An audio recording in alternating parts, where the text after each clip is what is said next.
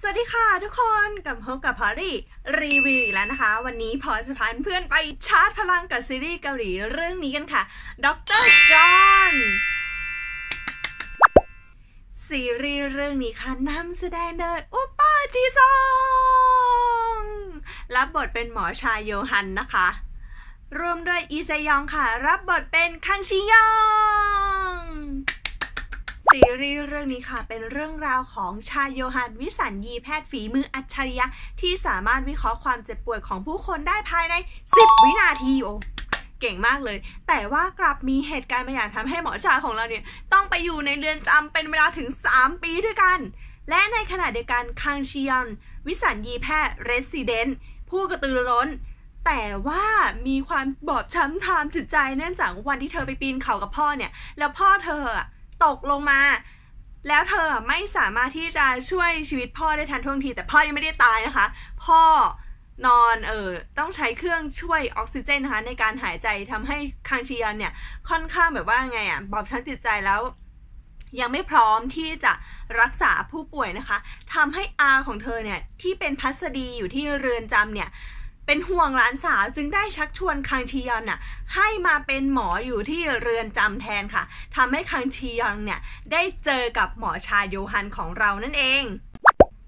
แต่ว่าการพบกันของทั้งสองคนเนี่ยไม่ค่อยดีเท่าไหร่เนื่องจากว่าหมอชาเนี่ยมีท่าทีที่กวนประสาทหรือเรียกว่ากวนอวัยวะเบื้องล่างสุดเป็นอย่างมากทำให้คังชียอนก็แบบว่าไม่ค่อยชอบท่าทางของชาโยฮัน และก็เริ่มสงสัยว่าทำไมคัง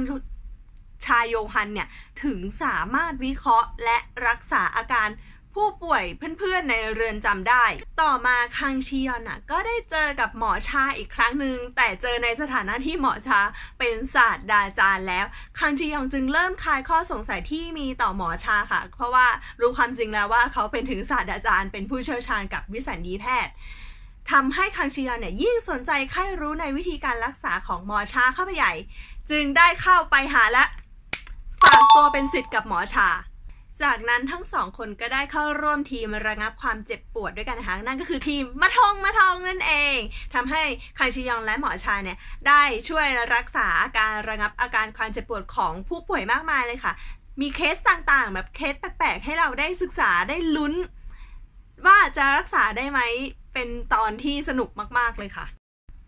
แต่ด้วยหมอชาของเราเนี่ยเคยอยู่ในเรือนจำมาก่อนทำให้เวลารักษาหรือวินิจฉัยคนไข้เนี่ยมักจะตกเป็นเป้าสายตาอยู่เสมอ ในขณะเดียวกันคังชียองเนี่ยเมื่อได้ทำงานเกี่ยวกับหมอชามากๆเนี่ยก็เริ่มมีความ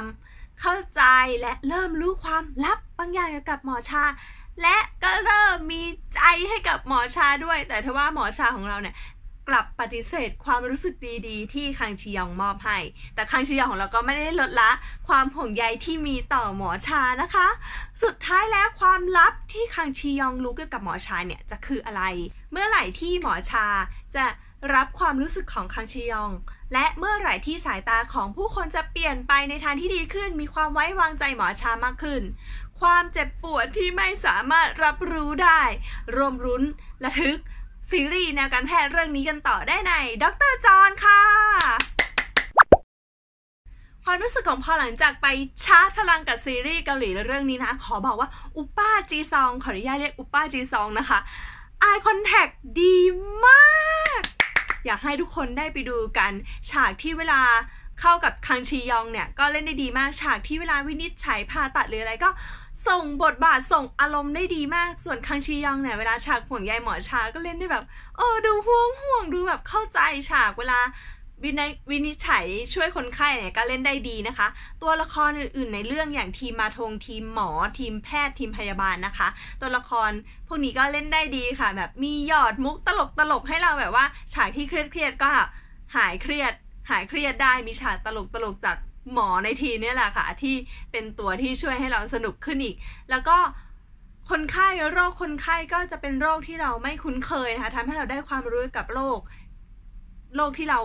ไม่รู้จักมาก่อนด้วยนะคะ อยากให้เพื่อนๆได้ไปร่วมลุ้นไปร่วมฟิน ไปร่วมสนุกในซีรีส์เรื่องนี้กันค่ะ ถ้าชอบคลิปนี้ก็อย่าลืมคอมเมนต์ กดไลค์ กด Subscribe จะได้ไม่พลาดทุกการชาร์จพลังไปกับพอลลี่รีวิวสำหรับวันนี้ขอไปร่วมลุ้นกับหมอชายและคังชียังต่อกันนะคะ บ๊ายบาย